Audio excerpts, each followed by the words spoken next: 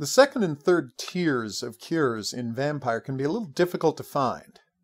So here's a quick guide.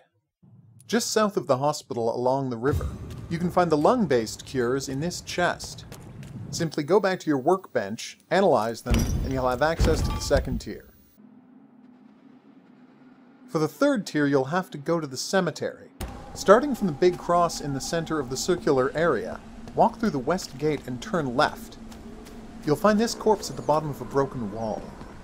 Search him to find a set of notes, then analyze them back at your workbench, and you'll have access to the third tier of cures, from headaches to neuralgia.